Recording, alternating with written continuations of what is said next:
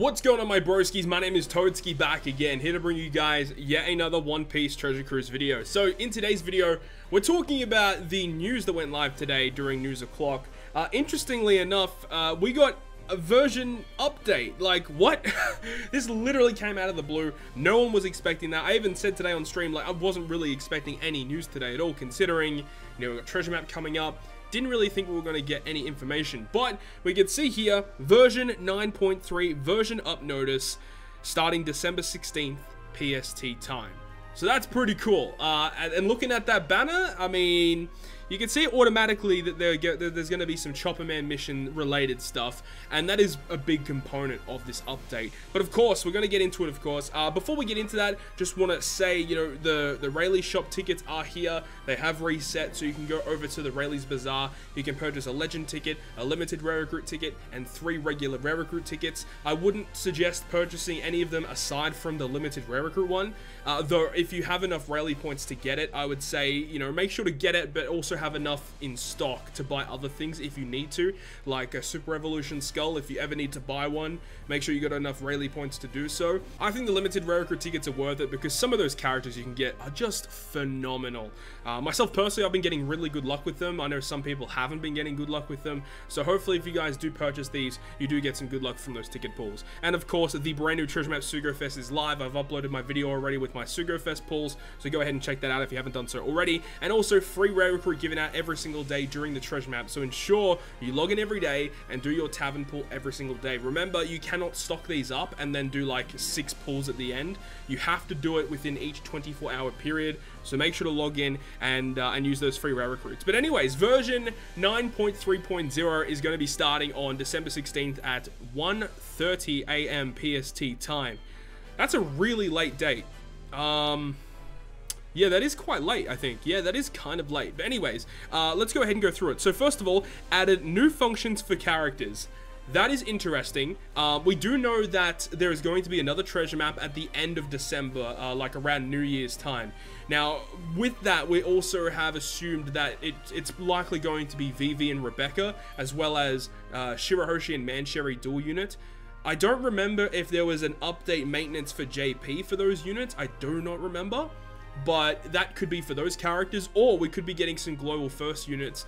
Either way, added functions for new characters is always an exciting thing to see. The next thing, the return of transponder snails.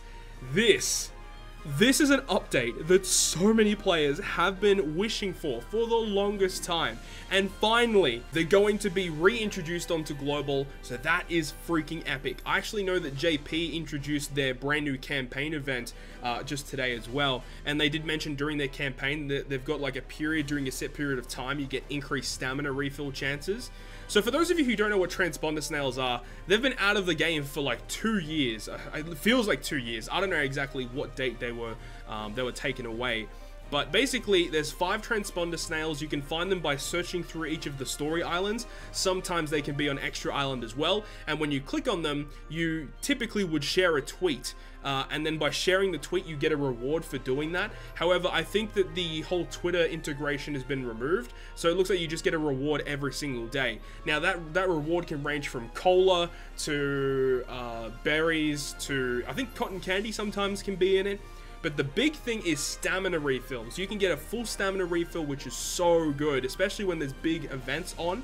Having this, having the stamina refill, you know, obviously just saves you a gem from refilling, which is great. And on the off chance, you can very rarely find five rainbow gems. My entire time playing Treasure Cruise, I've only gotten the five rainbow gem reward once from Transponder Snail. So the chance to get it is quite low, but it is very exciting that we are getting that. Next, new features for login bonuses. This is, an, this is another thing that JP have had for a while now. Basically, after you log in for a certain amount of days in a row, you get just like big rewards. Like I think, I think there's like Forbidden Tomes. Uh, I don't remember exactly the rewards, but I know like Forbidden Tomes and other small items like that are just sprinkled along with login bonuses. So that's a pretty nice update and welcomed and is going to help a lot of players out. So that's really, really nice. The next thing says auto tap added to treasure map. Now, when I saw this, I was a little bit skeptical as to why this was even a thing.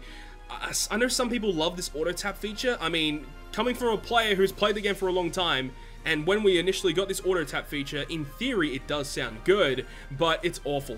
Auto tap is just poorly executed.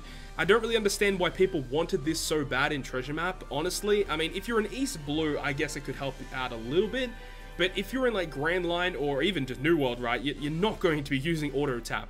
The only time I assume you would ever use it is if you had like Treasure Map NL set as your captain this it's it's not really a feature that I'm really that excited about, but I mean, if you're excited for it, then you know more power to you, I suppose. The next thing says improved Chopperman request features. Uh, I'm not really 100% sure what this is about. Um, I do know specifically on JP they recently had an update with their Chopper Man missions, which uh, altered the rookie quests, and with that means that you know there's brand new rookie quests to get introduced, and you can complete them and get rewards and stuff like that. So it might be related to that. Also, the daily missions were revamped as well. So as it stands on global right now, you'd have to do three runs of anything basically, and by doing three runs, you get a free rainbow gem. Uh, I believe how it is on JP right now, in order to get your free Rainbow Gem every single day, you have to spend 100 stamina. Now, I don't know, that could be the thing that's coming out, or maybe it's a brand new Global First um, Chopper Man mission related update. I'm excited to see what it's about, because that's going to obviously be, uh, it's, it's going to have quite an impact on the player base, so we'll see what that's about. Improved item selling at quest results. Now, when I saw this as well, this is another thing I was like, wait, why? Like, I don't know, this is just me, but Personally, I have never had an issue with selling stuff at the end of a quest, so I don't really understand why they're improving it. I don't know what there is to improve, quite honestly. Maybe you guys in the comment section can let me know, but personally, I found the, the selling at the end of a quest one of the best features that we've ever had. It, it helps so goddamn much. The next thing says shorter loading time during initial downloads. I mean, this is good for newer players getting into the game, but for endgame players, doesn't really matter that much. I would just like, you know, faster loading times getting into the game, you know, just logging in. That would be nice.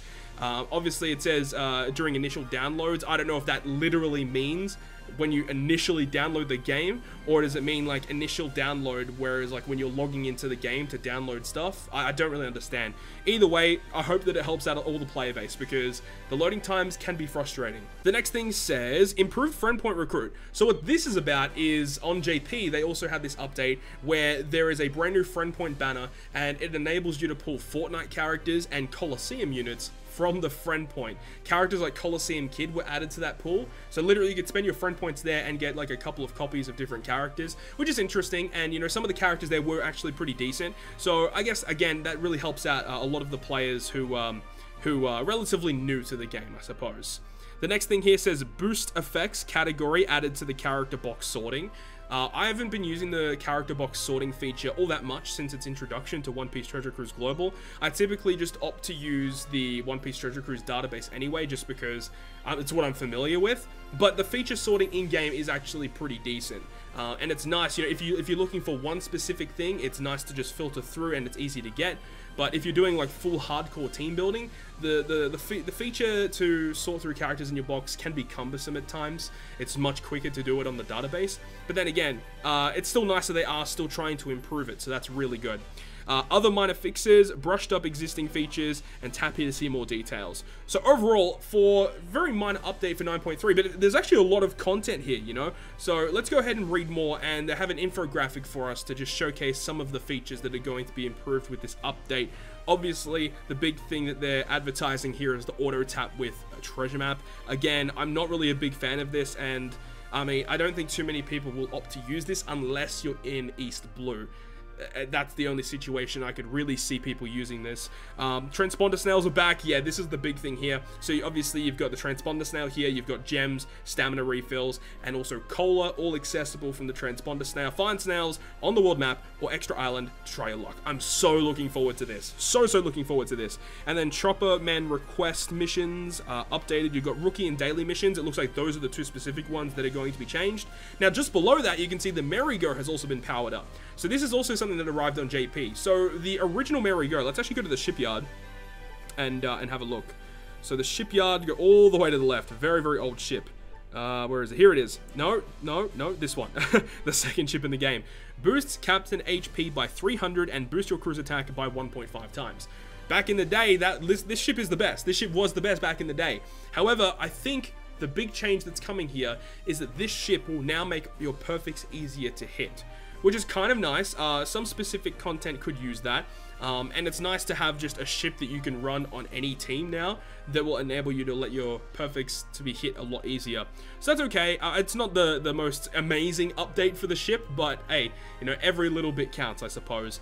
And then below that it says the current rookie and daily requests at Chopper Man will no longer be available, so be sure to clear them before the maintenance. So after the maintenance, when the, the revamp happens for these missions, the old ones will be deleted. So if you have not done them yet, I highly suggest to do them, especially those rookie missions. Those rookie missions are crazy. They give you so many rewards, so much EXP. If you have not done them yet, take the time out of your day to go ahead and do them. You'll rank up a bunch and get some really great rewards. After the maintenance, every user will be able to challenge the new rookie requests at Chopperman. So that's again really cool. So with the new requests, we can all log in and do these missions. So I'm excited for that. And hopefully the rewards are really good. I don't know off the top of my head what rewards are actually available here, but I am very excited for it.